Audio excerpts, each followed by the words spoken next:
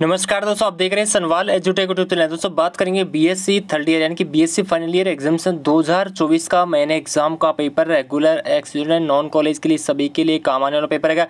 Mathematics का second paper है। First paper की हम बात कर चुके हैं। ये सेकंड पेपर है। इसके बाद में आपको थर्ड पेपर भी देखने के लिए मिलने वाला है। कुछ क्वेश्चनों के आंसर की भी आपको बताने वाला हूँ। टाइम रहे यहाँ पे। तीन घंटे का रहेगा और मैक्सिमम मार्क्स पैंसठ नंबर रहने वाले हैं। आइए शुरुआत करते हैं फ़र्स्ट क्वेश्चन के बारे में। पहला क्वेश्चन क्या पूछा यहाँ पे? वलय को परिभाषित कीजिए।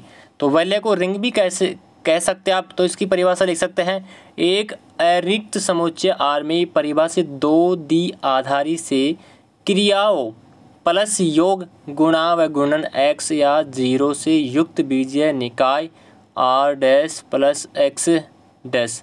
एक रिंग या वलय कहलाता है। दूसरा क्वेश्चन आता है विभाग वलय को परिभाषित कीजिए।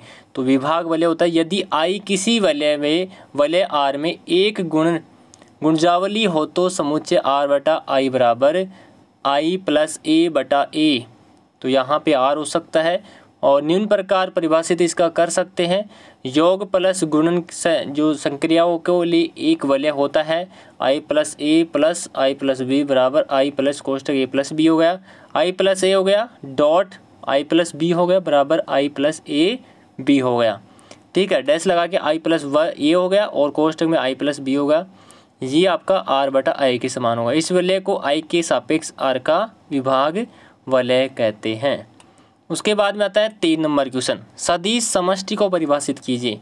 माना वी और एफ़ एक सदी समष्टि कहलाता है तो वी बराबर एल कोष्टक में एस क्या होगा यहाँ पे? सदी समष्टि होगा। उसके बाद में बात करते हैं आगे। सदी समष्टि पर सदी समष्टि का आधार परिभाषित कीजिए। तो यहाँ पे आधार पूछा है तो आपको क्या लिखना होगा? सदी समष्टि वी कोष्टक एफ़ का एक उप समुच्चय एस वी एफ़ का आधार कहलाता है। यदि ए एस और एल आई है तो बी क्या है? एस और वी का जनक है L dot E dot V तो एल कोष्टक में एस हो गया। ठीक है। इसके आंसर आपको स्क्रीन पे भी दिखा दूँगा, वहाँ से भी आप देख सकते हैं। रेखिक रूपांतरण को कोटि तथा शून्यता को परिभाषित कीजिए। तो रेखिक रूपांतरण को कोटि और तथा शून्यता को परिभाषित करेंगे तो क्या लिखेंगे यहाँ पे? रेखिक रूपांतर कोटि। माना टी सदी समष्टि वी और एफ़ से। और तो वी डैश एफ़ में परिभाषित एक रेखिक रूपांतरण है, जहाँ वी और एफ़, वी कोष्टक एफ़ परिमित विमीय समष्टि है। तब टी के विमा की कोटि कहलाती है। इसे पी कोष्टक टी से व्यक्त किया जाता है। तो पी कोष्टक टी बराबर क्या होगा? डी आई एम आर कोष्टक टी रेखिक रूपांतरण शून्यांक आएगा इसका। एल्फा टी और डी आई एम एन कोष्टक में टी आएगा। नेक्स्ट आता है। सिक्स नंबर शिल्वेस्टर का शून्यंकांक का शून्य शून्यता का नियम परिभाषित करना होगा। इसमें आपको नियम परिभाषित करेंगे। तो यदि टी सदी समष्टि वी और एफ़ में, वी एफ़ से वी डैश एफ़ में परिभाषित एक रेखिक रूपांतरण है, जहाँ वी और एफ़ वी कोष्टक एफ़ परिमित वी में है तो। तो यहाँ पे आपको सूत्र लिखना होगा, जो आपको स्क्रीन पे दिखा दूँगा लास्ट के अंदर। दो नंबर क्वेश्चन आता है, ये बड़ा क्वेश्चन है। ठीक है, इसमें आपको सिद्ध करना होगा। और अथवा के अंदर भी आपको देखने के लिए मिल रहा है तो इंपॉर्टेंट है पेपर सभी यूनिवर्सिटीज़ में काम आएगा। बासठ यूनिवर्सिटीज़ का दोस्तों पेपर है। चाहे राजस्थान यूनिवर्सिटी हो, चाहे मत्स्य हो, चाहे सिक्कावटी हो, सभी यूनिवर्सिटीज़ के लिए काम आने वाला पेपर रहेगा। तीन नंबर क्वेश्चन है, इसमें आपको वैल्य दे रखे आर का प्रतीक, समकारी प्रतिमा जिसे विभाग वल्य के तुल्यकारी होता है। अथवा के अंदर भी यहाँ पे दे रखा इसमें भी आपको ज्ञात करना होगा। विभाग, वल्य, आर बटा आई ज्ञात करेंगे। ठीक है, चार नंबर क्वेश्चन आता है। इसमें वी और एफ़ एक सदिश समष्टि हो तो सिद्ध करना होगा। दो पॉइंट यहाँ पे बना के दे रखा है लगभग तीन पॉइंट है इसमें। उसके बाद में अथवा में भी आपको देखने के लिए मिलने वाला है।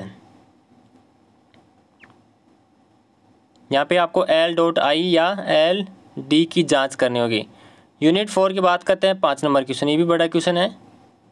ठीक है तो फटाफट से इन क्वेश्चनों को देख लीजिए और इन क्वेश्चनों को अच्छी तरह से रट के जाना होगा सोल्व करके जाना होगा। सिक्स नंबर क्वेश्चन आता है, ये भी बड़ा क्वेश्चन है। और इसके अंदर दोस्तों अथवा में भी आपको देखने के लिए मिल जाएगा। सात नंबर क्वेश्चन की बात करते हैं यहाँ पे। लगभग इसमें पाँच पॉइंट दे रखे हैं। तो किसी वाले आर की किन्हीं अब ए, बी, सी के लिए ज्ञात करना होगा इनको।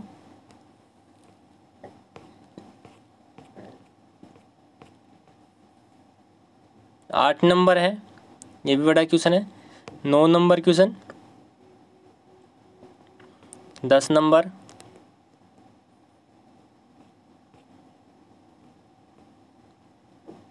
दस नंबर के बाद में आता है नेक्स्ट आता है ग्यारह नंबर। सिद्ध कीजिए कि प्रति चित्रण यहाँ पे कुछ समीकरण दे रखे और उसको ज्ञात करना होगा, समष्टि दे रखी एक तुल्य, तुल्यकारिता है। तो ये पेपर आपका क्या हो चुका दोस्तों? कंप्लीट हो चुका है।